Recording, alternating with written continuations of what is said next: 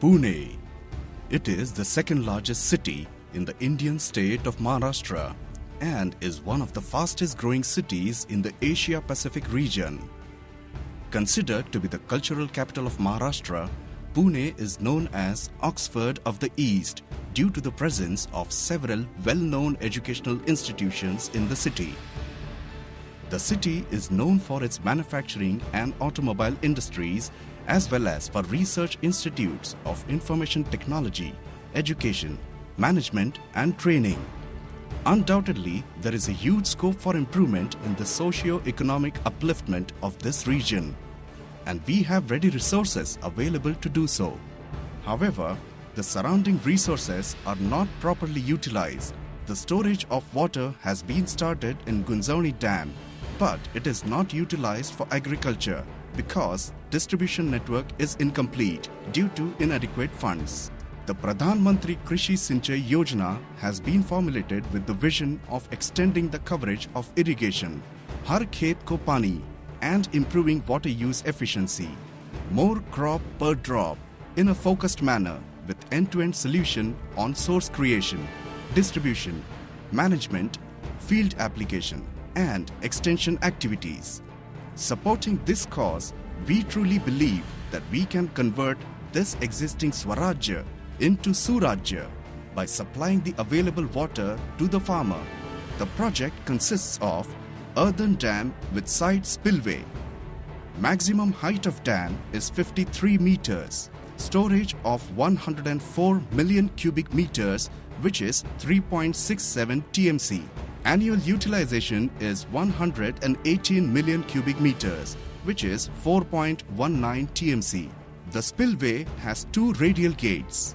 The project also offers some features which collectively make it a truly unique project. Water will be available 24 by 7 throughout the year. Piped irrigation network up to the farm. Water can be seen only either in the dam or at the root of the crop minimum 20 meters pressure head at each farm of 3 hectares. Command area is 21,392 hectares in Velhe, Bhor and Purandar. Out of this, 12,872 hectares is a drought-prone area in Bhor and Purandar Taluka. Narayanpur lift irrigation system of two stages with head up to 281 meters. Command area of Narayanpur lift irrigation system is 5400 hectares. The system is fully automated and with HSCADA system. 173 water user associations planned. This project is divided into two parts.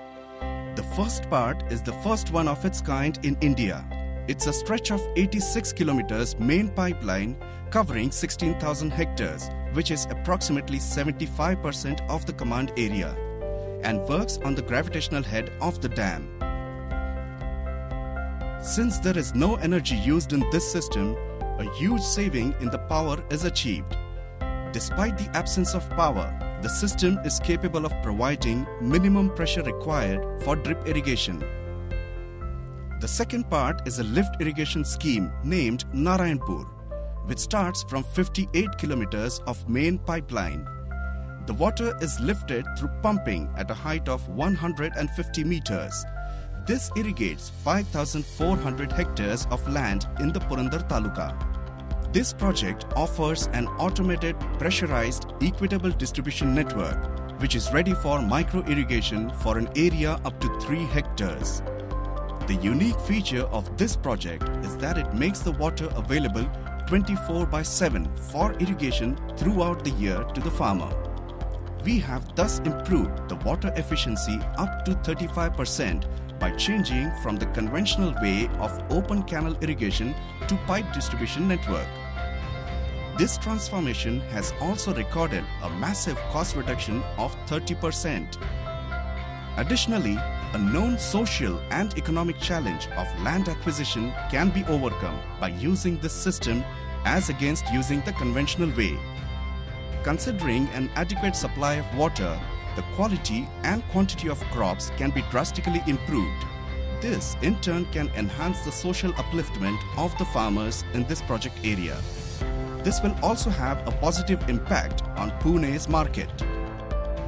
This project comprises of various advanced technologies like equitable distribution of water and pressure through outlet management system, central control and monitoring by H-SCADA and the distribution management system. Water meters at 24 hectares Chak. Primary and secondary auto filters have been installed which are necessary for drip irrigation. Residual pressure at 24 hectares chak ready for drip irrigation. Remotely controlled up to 3 hectares sub-chak with a centrally located unit wireless energyless communication system by radio or GPRS. Vandalism alerts. SMS alerts to farmers. Officials can access the system through internet on their computers or smartphones. Reports and data log available on computer. Smart devices like outlet management system, distribution management system, etc. This main pipeline crosses the Mumbai-Bangalore National Highway at 35 kilometers and the railway line at 69 kilometers. The crossings will be constructed with modern techniques like push method without interrupting the moving vehicular traffic.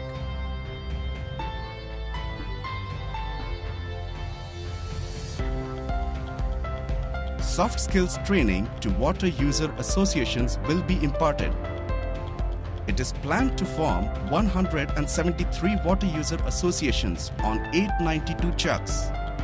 Each water user association will be having a monitoring station, come office, come training center.